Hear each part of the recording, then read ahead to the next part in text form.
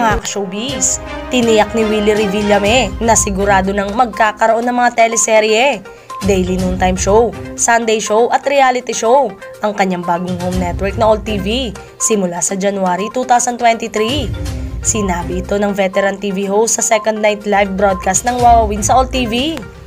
Pakiusap pa ni Willie, tulungan niyo po kami na umunlad ang All TV kasi marami tayong mabibigyan ng mga trabaho. Yung mga nawalan ng trabaho, kinukuha namin. Hiningi rin ni Willie ang pangunawa ng lahat tungkol sa mga artista mula sa iba't ibang network na lumipat sa All TV at ang kanyang pag-amin na tumutulong siya sa pakikipag-usap sa mga kapwa niya personalidad sa entertainment industry. Anya, sana naman ho, intindihin nyo. Kung wala naman silang ginagawa at pwede naman dito, welcome na welcome sila sa All TV. I will be honest, ako po talagang nakikipag-usap sa kanila. Kasama ko si AMBS President Maribel Tolentino.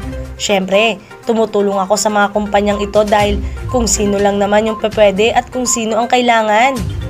Ipinaliwanag ni Willie ang mga technical difficulties na napansin ng manonood tulad ng pagkawala ng audio na hindi maiiwasang mangyari sa isang bagong bukas at nagsisimulang network. Sad niya, napagod tayo medyo malat lang kami. Ilang gabi na kaming hindi natutulog para mapaganda yung programa. Siyempre, may technical difficulties kami, birth pains. Yan yung tawagin, mahirap yung mga audio namin. Nahirapan dahil hindi naman po studio itong Will Tower. Ito po ay penthouse at may roof deck, may helipad. Ginawan lang po ng paraan kasi kung magsisimula kami ng January 2023, sayang naman po yung kapaskuhan. Pinasalamatan ni Willie ang Villar family dahil sa buong-buong suporta raw ng mga ito sa All TV at mga empleyado nito.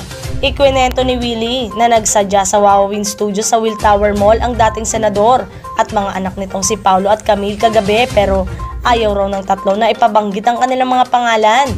Nagpasalamat din si Willie kay Vice President Sara Duterte na nagpadala sa kanya ng text message para batiin ang muling pagbabalik niya sa telebisyon. Ibinahagi naman ni Willie ang mga larawan ng bisitahin siya sa Wawawin ni na former Senator Manny Villar at ng mga anak nito pati na ang lumang litrato nila Mariel at Tony Gonzaga na magpapatunay na sila ang mga original host ng unang season ng Pinoy Big Brother ng ABS-CBN. Muling nagkakasama-sama ang tatlo sa paglulunsad sa All TV kahapon.